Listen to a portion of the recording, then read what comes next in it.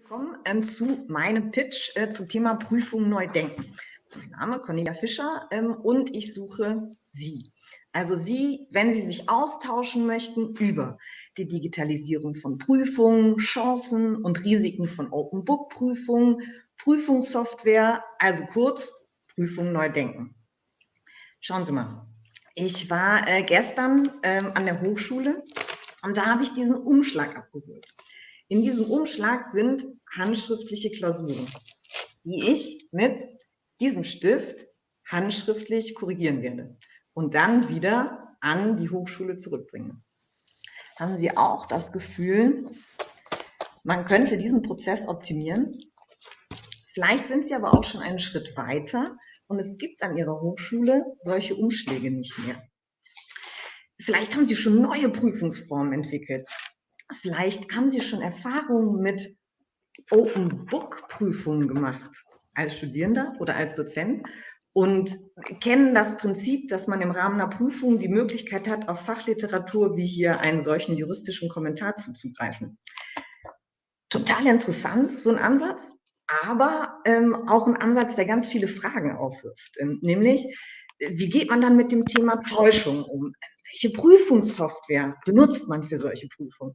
Und tatsächlich die eigentlich wichtigste Frage, wie sollen denn solche neuen Prüfungsformen inhaltlich aussehen? Ähm, ich bin Juristin, äh, Professorin für öffentliches Recht an der HSBV, das ist die Hochschule für Polizei und öffentliche Verwaltung ähm, im Land Nordrhein-Westfalen.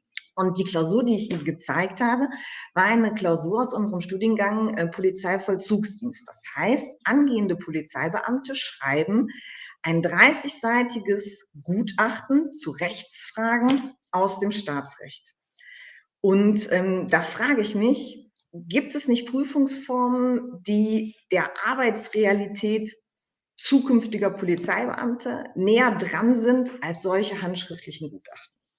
Und weil ich diese Fragen wichtig finde, ähm, habe ich ein Drittmittelprojekt akquiriert. Mein Drittmittelprojekt heißt PEP.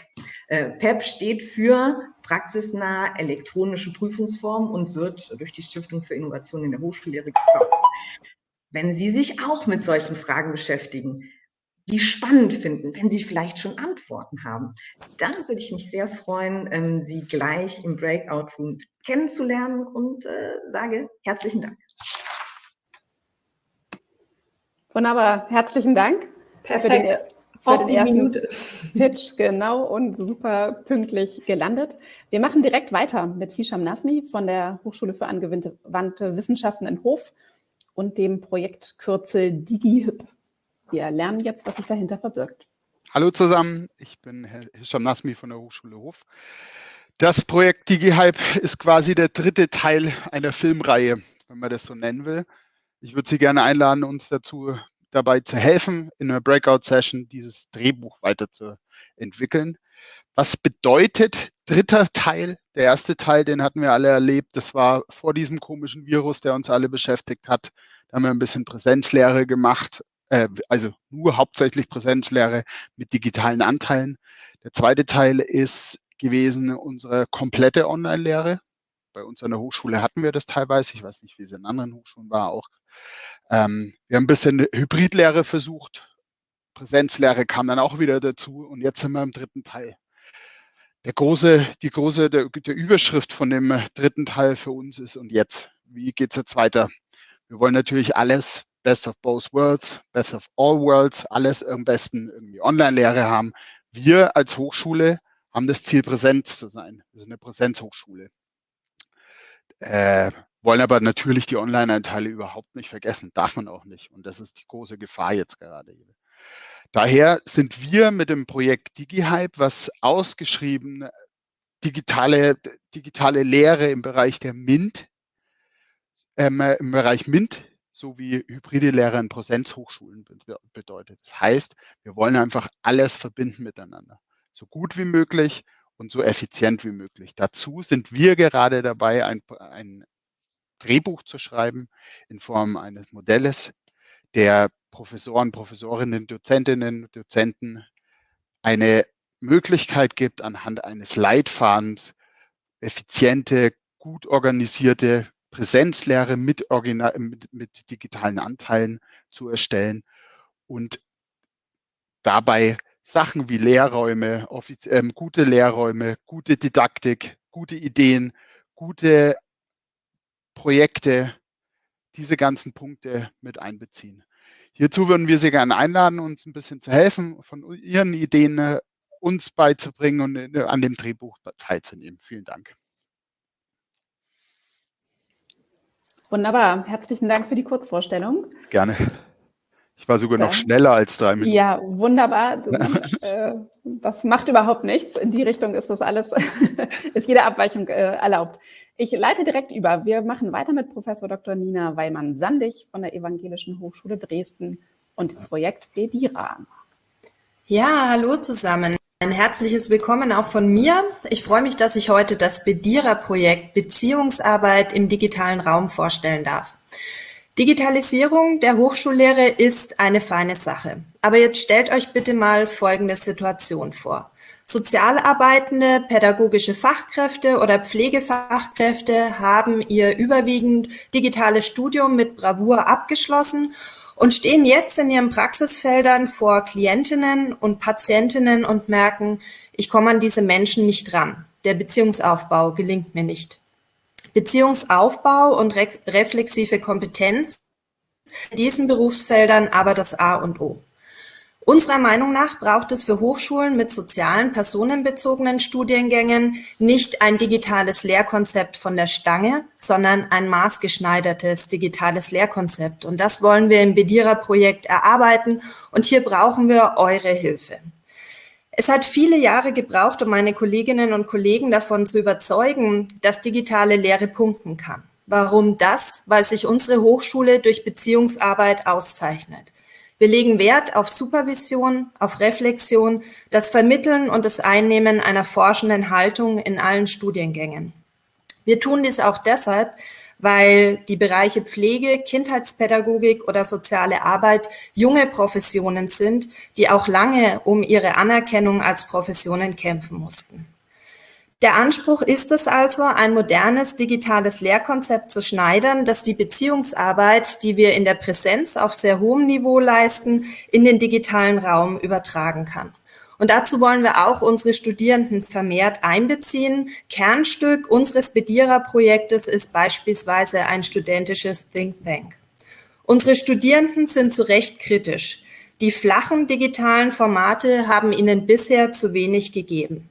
Wir haben sehr viel Wert gelegt auf Informationsvermittlung, aber die Zugehörigkeit, die Unterhaltung, die Beachtung oder das Wir-Gefühl konnten wir bisher in den digitalen Raum nicht transportieren. Und hier würden wir uns freuen, wenn wir in der gemeinsamen späteren Session Inputs von euch, von Ihnen bekommen würden. Wie habt ihr das vielleicht geschafft? Was würdet ihr uns für Tipps geben? Wir suchen den Austausch und die Vernetzung und freuen uns sehr, mit euch ins Gespräch zu kommen. Dankeschön. Ja, herzlichen Dank auch äh, in Richtung von Frau Weimann-Sandig. Und entschuldigen Sie bitte, ich habe Sie eben vorgezogen und Frau Fischer übersprungen. Das tut mir total leid über den doppelten Fischer. Das wusste ich vorher, dass das ein Einfallstor für Verwirrung ist. Kein Problem. äh, das tut mir leid. Wir machen jetzt aber weiter mit Martha Fischer. Sie kommt von der Hochschule Heilbronn und bringt uns das Projekt Induco mit. Vielen herzlichen Dank. Schönen guten Morgen zusammen. Ich bin Martha Fischer, Professorin an der Hochschule Heilbronn und Gesamtprojektleiterin für das Induco-Projekt. Induco steht für Innovation durch Kollaboration. Ich möchte ganz gerne mit einem Zitat beginnen von Henry Ford, der sagt, Zusammenkommen ist ein Anfang, Zusammenbleiben ist ein Fortschritt und Zusammenarbeiten ist ein Erfolg. An der Hochschule arbeiten Studiengänge und Fakultäten äh, unabhängig voneinander und isoliert voneinander. Und dadurch werden die Potenziale für die Zusammenarbeit nicht ausgeschöpft. Oft ist das nicht transparent, an welche Projekten die äh, Personen arbeiten und welche Expertisen die Personen jeweils haben.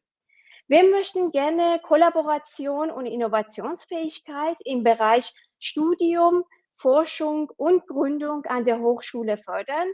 Und unser Projekt verfolgt drei Ansätze dazu.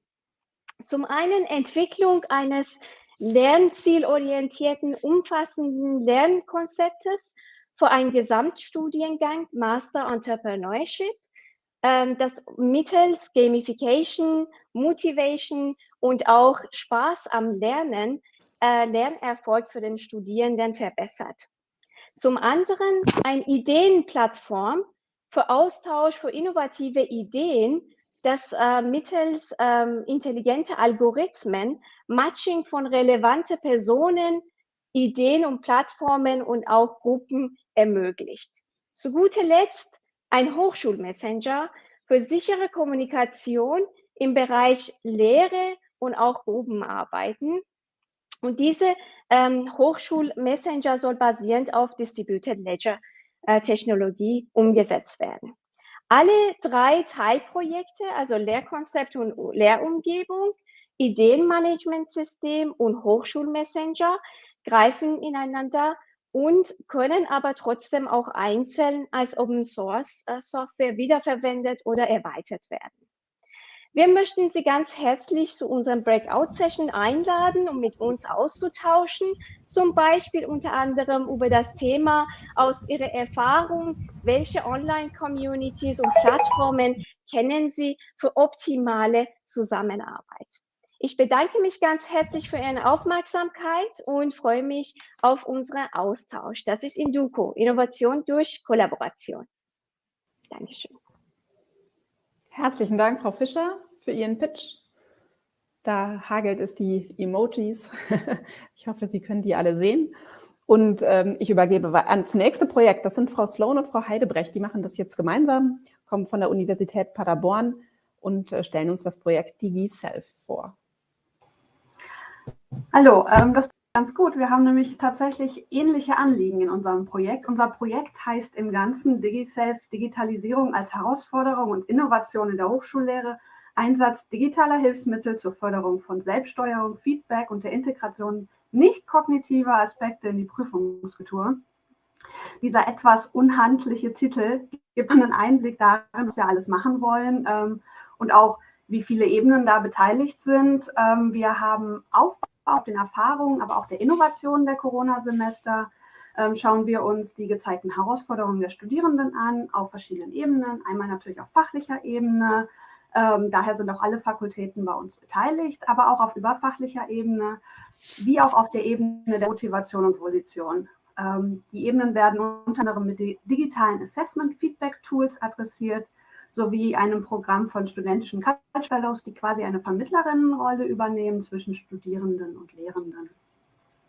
Genau, und wir vertreten in diesem Kontext oder in diesem Gesamtprojekt die Arbeitspakete 5 und 6 und sind für die wissenschaftliche Begleitung und Evaluation und für die Koordination und den Transfer zuständig. Dabei interessieren wir uns vor allem für die Zusammenarbeit zwischen den verschiedenen Fächern und Fakultäten. Wir möchten Austauschtreffen anbieten, bei denen die einzelnen Mitarbeitenden aus den verschiedenen Bereichen zusammenkommen können und hoffentlich auch ein Netzwerk äh, ein, oder über die Fächergrenzen hinweg aufbauen können. Wir möchten dabei aber auch Transferpotenziale von den digitalen Lehrinnovationen, die in den einzelnen Bereichen entwickelt wurden und auch noch werden. Ähm, diese Transferpotenziale möchten wir in diesen Treffen auch erkennen und ausschöpfen. Äh, insgesamt verfolgen wir das Ziel, so möglichst langfristig und auch vernetzte Strukturen an der Universität aufzubauen. Diese sachliche Zusammenarbeit interessiert uns aber auch auf einer inhaltlichen Ebene, weil wir uns fragen, wie sie einerseits die verschiedenen Teilprojekte, aber auch die Zusammenarbeit der verschiedenen Mitarbeitenden beeinflusst. Und mit Hinblick auf die Studierenden fragen wir uns auch, wie diese, das zum Beispiel bei Lehrenden, wenn sie Lehrende aus verschiedenen fachlichen Hintergründen haben, wie Sie diese Unterschiede wahrnehmen und erleben. Wir hoffen, dass wir insgesamt Ihr Interesse wecken konnten und Sie gleich vielleicht nochmal in einer Breakout-Session wiedersehen können und Ihnen dabei nochmal nähere Einblicke geben können. Herzlichen Dank auch Ihnen beiden. Ich bin ganz begeistert äh, von dem Zeitmanagement, was hier an den Tag gelegt wird. Meine Kollegin kommt gar nicht dazu, irgendwelche Tonsignale in die Welt zu posaunen.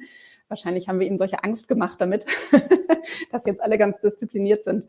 Im Chat sehe ich gerade die Frage, ob wir nochmal Projekttitel und Ansprechpartner in den Chat schreiben können. Das machen wir gerne gebündelt einmal äh, für alle. Da müssen sich jetzt die einzelnen Projektverantwortlichen dann nicht bemühen. Das können wir einmal machen, dass wir die äh, alle zehn da noch einmal vorstellen. Man sieht es am Ende auch noch in der Benennung der Breakout-Räume, äh, die die Titel ebenfalls tragen. Das können wir also auch gerne nochmal im Chat gleich kommunizieren. Super. Wir machen dann weiter direkt mit Herrn Dr. Andreas Knaden. Der kommt von der Universität Olden, Osnabrück Entschuldigung, und repräsentiert ein Verbundprojekt, was er aber mit sieben weiteren Hochschulen noch macht und stellt uns das Projekt souverän vor. Ja, ich hoffe, wie gesagt, hatte ursprünglich ein paar Probleme, aber ich bin wohl sichtbar, wenn auch ein bisschen blau, aber das mögen Sie entschuldigen an der Stelle. Erstmal ganz herzlichen guten Morgen aus Osnabrück. Ja, Andreas Knaden, ich bin CIO-Sprecher an der Universität Osnabrück und äh, gleichzeitig Projektleiter in unserem Verbundprojekt, das heißt Souverän. Und dieses äh, Verbundprojekt umfasst acht Hochschulen und einen Verein. Acht Hochschulen, das sind kleinere und mittlere Universitäten in diesem Falle aus Niedersachsen und der Verein ist der Niedersächsische Verein für digitale Lehre. Und es hieß ja, wir sollen unsere Kernidee einmal darstellen. Ich glaube, das kann man am besten tun, indem man die vier Arbeitspakete, denen wir uns verschrieben haben, ein bisschen skizziert. Und dann werden auch die Problemfelder, die wir bedienen wollen, glaube ich, ganz gut sichtbar. Arbeitspaket 1 haben wir genannt agiles Innovationsnetzwerk und das beruht auf der Beobachtung, dass wir bei vielen anderen Universitäten Services sehen, die bei uns vielleicht auch klasse passen würden, die wir aber noch nicht abbilden können. Und da ist uns der Gedanke gekommen, wir müssen dafür sorgen, dass Innovationen in der digitalen Lehre schneller zwischen Hochschulen transferiert werden äh, können und sich schneller verbreiten. Dafür wollen wir ein systematisches Innovationsmanagement einführen.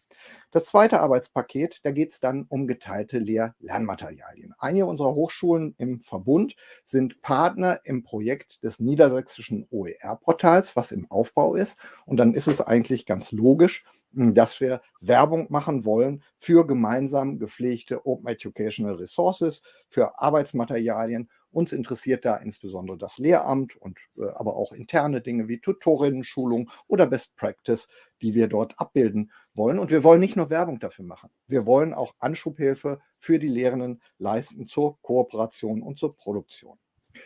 Das Arbeitspaket 3 heißt Klärung des Rechtsrahmens. Vielleicht erinnert sich der eine oder andere von Ihnen, dass die Universität Osnabrück und äh, der Elan äh, sehr stark involviert war bei der äh, Veränderung des Urheberrechts vor zwei, drei Jahren. Das Urhebergesetz, Paragraph 52a, wurde geändert.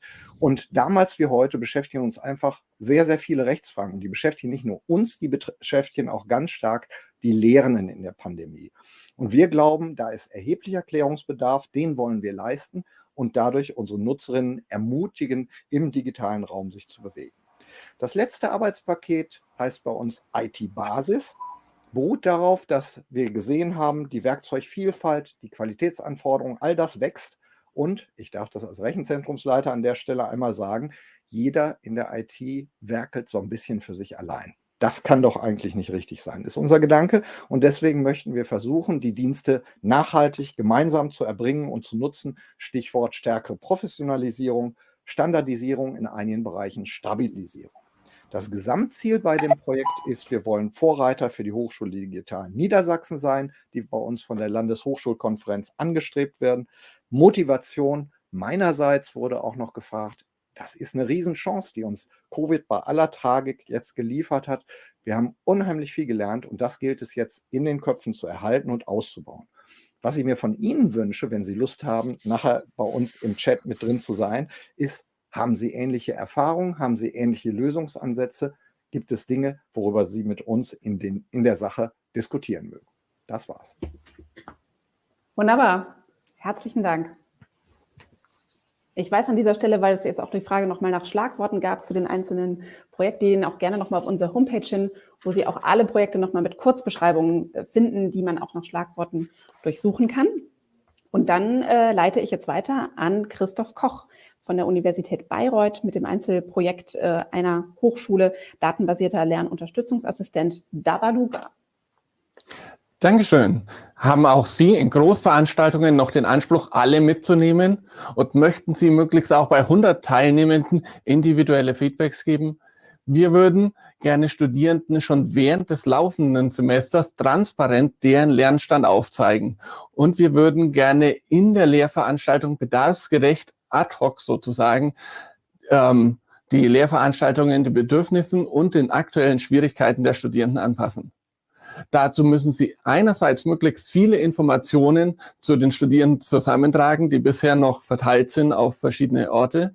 Sie brauchen eine Analyse die, der Studierenden, um Cluster zu bilden, um zum Beispiel deren Lernstand oder Schwierigkeiten zu clustern. Sie brauchen ein Tool, das Feedback automatisiert erstellt und auch für Großgruppen anwendbar ist. Und Sie brauchen eine didaktische Lernunterstützungsstrategie, inklusive einer didaktischen Beratung und Begleitung.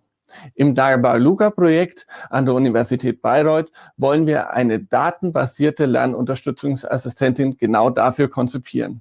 Das Ziel ist es, die Abbruchraten sowohl im Kurs als auch im Studium in den ersten zwei Semestern zu reduzieren und Studierenden frühzeitig schon während des ersten Semesters Hinweise zum Beispiel auf Beratungsangebote zu geben.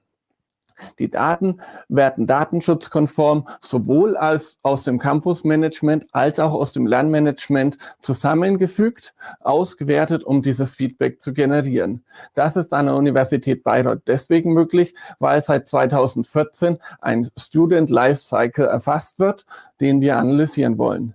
Zusätzliche Daten erheben wir aus den laufenden Lehrveranstaltungen, beispielsweise mit Moodle und äh, Wiseflow.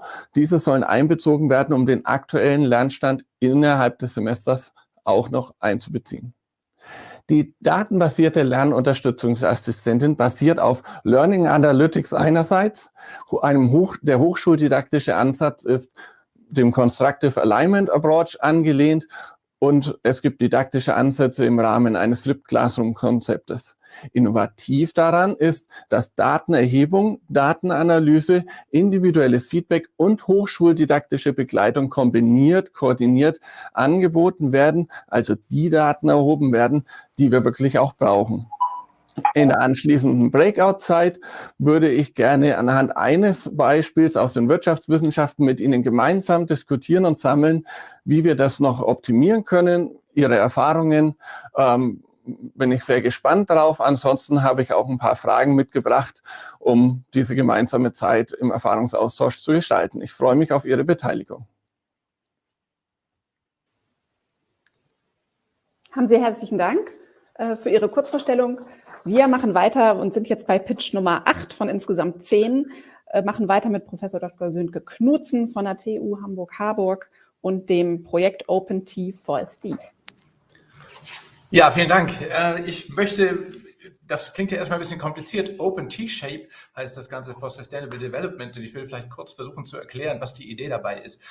Wenn wir uns die Studiengänge angucken in Deutschland, ich komme von der Technischen Universität und da ist es ganz besonders, aber es gilt für viele Studiengänge eigentlich, dann sind die meistens sehr komplex und meistens sehr curricular eng geführt. Das ist eine Folge von Bologna. Äh, die Probleme, die wir aber auf der Welt sehen, sind in der Regel relativ komplex und auf jeden Fall fachübergreifend. Das heißt, aus den Disziplinen heraus können wir die eigentlich schlecht lösen. Sondern die Idee, die es in Amerika schon ein bisschen länger gibt, in Deutschland zum Teil, die wir jetzt aber mal ausprobieren wollen, ist ein T-Shape-Modell. T-Shape-Modell sagt Folgendes. Wir bleiben bei der disziplinären Tiefe, das ist sozusagen der Sockel des Ts, aber packen da einen überdisziplinären, interdisziplinären Deckel drauf. Das heißt, es ergibt sich insgesamt eine T-Funktion. Das heißt, wir lassen die Studiengänge so, wie sie sind. Ich war lange Vizepräsident, ich weiß, wie schwer das ist, Studiengänge zu ändern. Äh, wir sagen aber, wir packen freiwillig sozusagen für die Studierenden einen 30 Leistungspunkte T-Deckel da drauf und den legen wir bewusst interdisziplinär an. Wir wollen uns bei diesem T-Deckel ausrichten an den UN-Nachhaltigkeitszielen, den 17 Nachhaltigkeitszielen, äh, die entwickelt worden sind. Und an diesen Zielen wollen wir versuchen, aus den Studiengängen heraus zu zeigen, Leute aus unterschiedlichen Disziplinen zusammenzubringen. Also wenn Sie sich den T-Deckel vorstellen, dann steht das nächste T natürlich mit einer anderen Disziplin daneben. Die Ts geben sich sozusagen die Hand und man kann über die Studiengänge hinaus Probleme lösen. Das ist das, was wir machen wollen. Wie gesagt, entlang der großen Nachhaltigkeitsziele. Wenn wir über Klimaschutz nachdenken, über saubere Energie, über das Bringen von, Hunger oder Gesundheit. Es gibt ja viele Themen, die so groß sind, dass wir sie nur gemeinsam lösen wollen. Was wir gerne machen wollen in der Breakout-Session mit Ihnen, äh, wir wollen ein Werkstattgespräch machen, weil wir von Ihnen Impulse brauchen. Also haben Sie schon Erfahrungen mit solchen zertifizierbaren Zusatzangeboten. Wir wollen Sie aber auf jeden Fall zur Kooperation einladen. Äh, das Ganze, was wir machen, nennt sich ja Open T-Shape. Das heißt, alles, was wir machen, ist open. Jede Universität kann all das, was wir entwickeln, nutzen, um es an ihrer eigenen Hochschule auch zu machen. Aber es ist auch open im Sinne von Partizipation. Das heißt, jede Hochschule, die möchte, kann auch Module erstellen und in das gemeinsame Curriculum einbauen. Wie gesagt, die Probleme sind so groß, dass sie auch für den Verbund der beiden Hochschulen, TU in Hamburg und die Hafen City Universität, zu groß sind. Deswegen die Einladung, lassen Sie uns Hochschule so denken, dass wir gemeinsam die großen Probleme der Welt lösen. Warum eigentlich nicht? Herzlichen Dank auch für die schöne Abschlussfrage. Ähm, ja, wir kommen nochmal zu einem Verbundprojekt von der Universität Freiburg gemeinsam mit acht weiteren Hochschulen. Das ist das Projekt PEP, diesmal mit zwei P am Ende. Und ich würde Herrn Slottosch bitten, damit jetzt weiterzumachen. Ja, vielen Dank. Ähm, PEP, nochmal PEP, diesmal mit 2P, steht für Partnerschaft für innovative E-Prüfungen, Projektverbund der baden-württembergischen Universitäten. Wir wollen im Grunde etwas Ähnliches wie das andere PEP-Projekt. Wir wollen uns auch über e um E-Prüfungen äh, kümmern, äh, vielleicht in einem etwas größeren Maßstab, weil wir ein großes Verbundprojekt sind. Ähm, unsere zentrale Innovationsidee soll sein, die Trennung zu überwinden von technisch-infrastrukturellen und didaktischen Entwicklungen und der Bearbeitung von Fragen der rechtlichen Zulässigkeit und der Akzeptanz, ähm, um E-Prüfungen so gesehen ganzheitlich zu gestalten. Das heißt, wir wollen nicht nur E-Prüfungen technisch umsetzen und weiterentwickeln und optimieren, weil E-Prüfungen werden seit 10, 15, teilweise 20 Jahren bereits geschrieben, sondern wir wollen das Ganze auch aus einem rechtlichen, ethischen und sozialen Blickwinkel betrachten.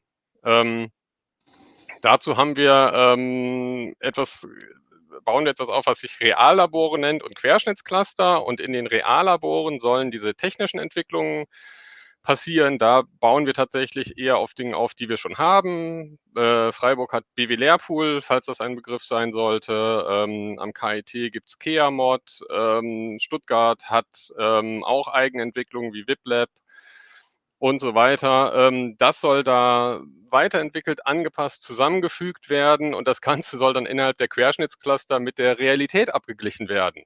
So, geht das überhaupt? Können wir das so machen? Gibt es da rechtliche Einschränkungen? Gibt es da äh, Einschränkungen, was die Akzeptanz, aber auch was, was die ähm, was, was die Barrierefreiheit angeht, ähm, dass da halt dann oft gesagt wird, so muss das aber und der andere sagt dann, so geht das aber nicht. Das wird ganz oft vorkommen wahrscheinlich bei uns. Ähm, wir wollen E-Klausuren nicht neu erfinden. Das geht gar nicht. Also das, die, die sind schon da, die, die sind schon relativ gut. Wir wollen vielleicht neue Dinge dazu erfinden, aber wir wollen das Gesamte nicht neu erfinden. Wir wollen auch keine eigenbrötlerische Elite-Universitäts-Community werden, ähm, sondern das Ganze wird sehr offen. Alles, was wir entwickeln, alle Software, die wir entwickeln, werden wir als Open Source veröffentlichen. Alle Handreichungen, alle Whitebooks, was auch immer, was wir, was wir da schreiben, soll als OER zur Verfügung gestellt werden. Das ist ein ganz, ganz wichtiger Punkt und Teil unseres Transfer, Transfergedanken auch, dass alles, was wir wirklich entwickeln, allen auch zur Verfügung steht. Das ist so ein bisschen bei BW Lehrpool wird nicht nur an Unis benutzt, wird auch an, an HAWen genutzt und so, egal was wir dafür entwickeln, steht sofort zur Verfügung, sobald es ausentwickelt ist. Ähm, und wir wollen auch diesen regelmäßigen Austausch tatsächlich. Also deswegen sehr schön jetzt auch in, in dem Breakout-Raum möchte ich mit Ihnen darüber sprechen. Haben Sie Ideen, die wir bei uns andocken können? Haben Sie vielleicht auch ähnliche Vorhaben gehabt und können uns warnen vor Stolpersteinen, wo wir sagen, passt mal damit auf, das sind wichtige Punkte, da müsst ihr drauf achten. Wir haben uns dazu natürlich bei der Projektentwicklung Gedanken gemacht, aber man übersieht vielleicht auch dann mal den Wald vor lauter Bäumen irgendwo. Das ist unsere, unsere äh, große Idee, ähm, da wirklich Dinge für alle zu entwickeln, ähm, die allen zur Verfügung stehen, da aber auch in den Austausch mit ihnen zu treten, grundsätzlich die ganze Zeit über. Wir werden auch verschiedene Clusterkonferenzen und so weiter anbieten, ähm, um da weiter ähm, zum Austausch zu kommen. Und was ich in der Breakout-Session dann möchte, ist wirklich da ins Gespräch zu kommen, da Ideen auszutauschen, dass sie sich unsere Ideen vielleicht auch nochmal genauer anhören und da dann Kommentare zu abgeben. Ich grätsch da einmal rein, weil meine Kollegin mir, ich glaube, den Ton hat man nicht gehört. Oh, okay. Meine Kollegin hat da gerade ein Problem mit dem Ton. Ähm, und sage aber herzlichen Dank für Ihren Pitch. Und äh, genau, den, das kriegen wir gleich wieder hin. Wir sind aber ja auch schon auf der Zielgeraden und steuern jetzt gewissermaßen mit dem letzten Pitch äh, und in unserem gemeinsamen Fahrstuhl, in dem wir alle stehen, das Penthouse an äh, und ich übergebe an äh, Peter England äh, mit seinem äh, Projekt Participate at UOL, äh, UOL Universität Oldenburg. Ja, vielen Dank. Penthouse ist vielleicht zu viel gesagt, das werden wir mal sehen. Ähm, ich bin nicht allein hier, meine Kollegin Claudia Lehmann ist auch da. Wir machen das zusammen im Team natürlich. Ähm, ein, ein, Hinweis an alle Teilnehmenden. Äh, schalten Sie bitte mal Ihren Bildschirm in den Fullscreen-Modus. Das geht unten rechts in dem äh, kleinen Symbol.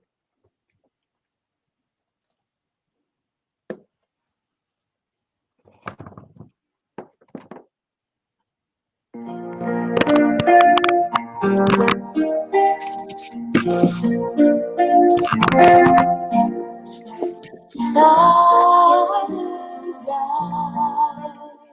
all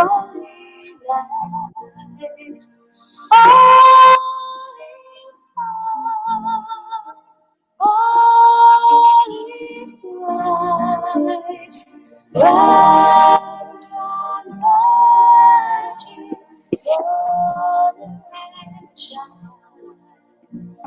Oh.